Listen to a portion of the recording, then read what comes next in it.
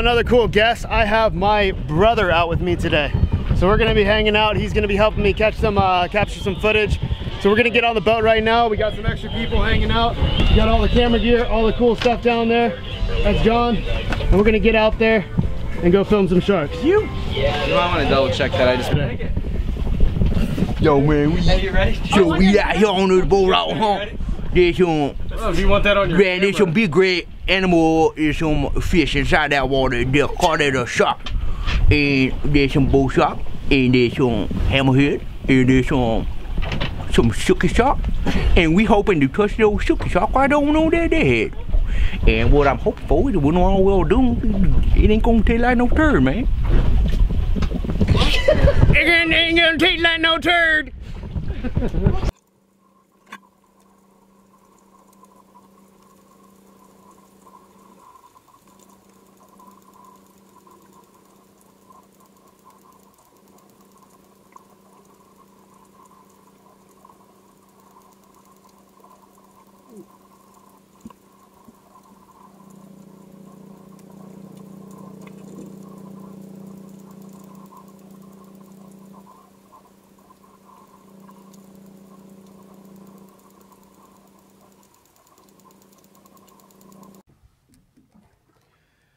I wish you guys could be here and actually see this. Nothing does it justice like actually being here and looking over the edge of the boat. The visibility is absolutely unreal. And just, I mean, as you can see, it's complete flat, calm conditions. One of the most beautiful days I've ever seen out here. It's absolutely amazing.